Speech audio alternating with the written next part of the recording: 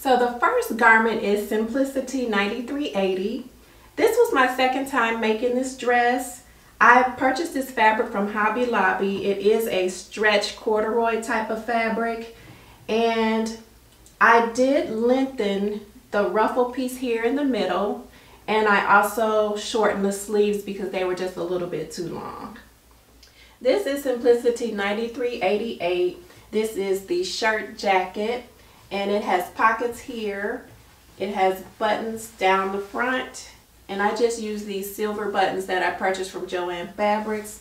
This corduroy fabric was purchased also from Joann Fabrics. There is a little pleat in the back. There are pockets also on the side. So you have the pockets on the front here and then the side pockets. And then you have a collar here. I also forgot to mention that I lengthened this pattern. I think the jacket was supposed to stop somewhere around in this area for the longer version, but I did lengthen it so it could go a little bit longer. Next we have Simplicity 9451. This top ended up having one sleeve because I made a mistake when I was cutting out the fabric. I cut the sleeve pattern out in the wrong direction and all I had left over was enough for one sleeve after I made the mistake. So I just ended up using one sleeve and this was the final result. This has a little opening in the back and you have to make a loop at the top or you can make a loop at the top per the directions and then I found a gold button to add to the top. There's a center back seam. There's gathering or ruching here on the side and also up here at the shoulder edge on the right side. This is Burda 6294. This is also the second time that I made this garment and I use the same fabric that I use for this simplicity top which is kind of like a stretch corduroy fabric that I found from Hobby Lobby. This has pockets and that's really it as far as the details go. Has the little band around the collar and all of that.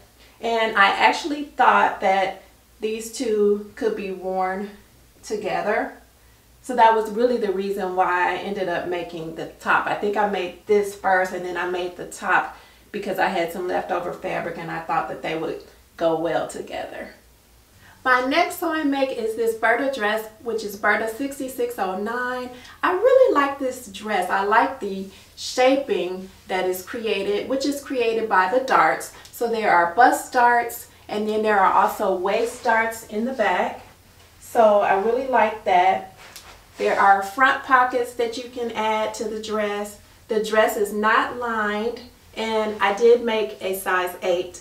This fabric is some fabric that I found from a thrift store. It is wool fabric and I really like it a lot.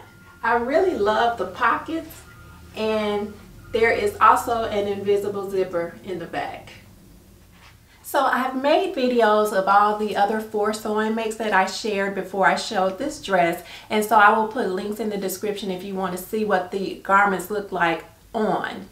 And before I go, I want to leave you with a love share. I recently learned that you need to have a permit if you intend on feeding the homeless in streets or parks in the city of Atlanta, Georgia.